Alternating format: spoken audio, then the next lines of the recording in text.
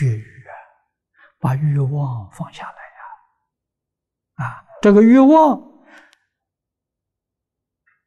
对人的欲望啊，对人人情的这种欲望，对事的欲望啊，对环境的欲望，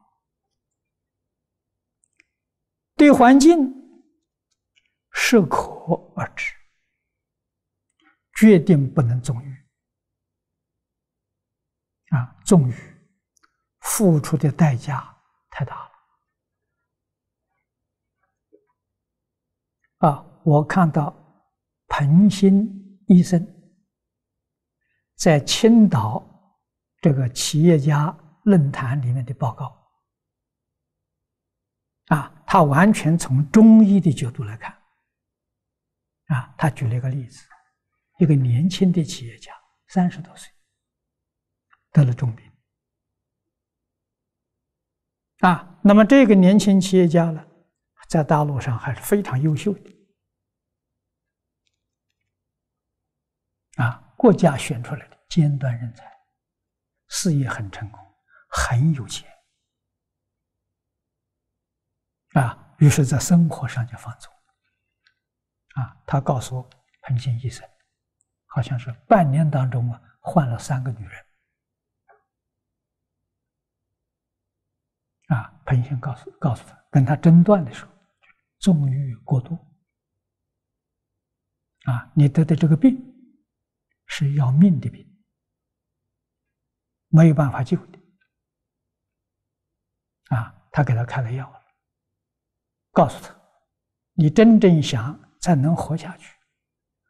一年到两年，决定不能有放肆。啊，他不相信他的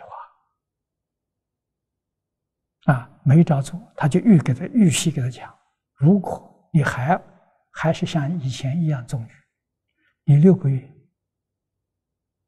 但是你的两个腿会发麻，你这个这个脚底啊，会会发凉。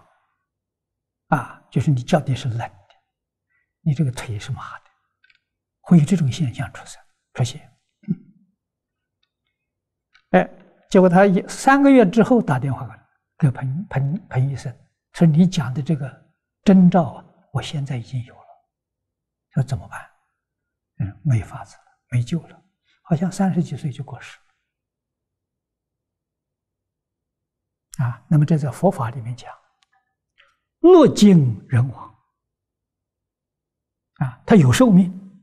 啊，应该是七八十岁的寿命，七八十岁那种福报。啊，正常去享受那种福报，他三十年把它用光了，不知道惜福啊！中国人讲惜福是太大的教诲呀，真实的教诲呀。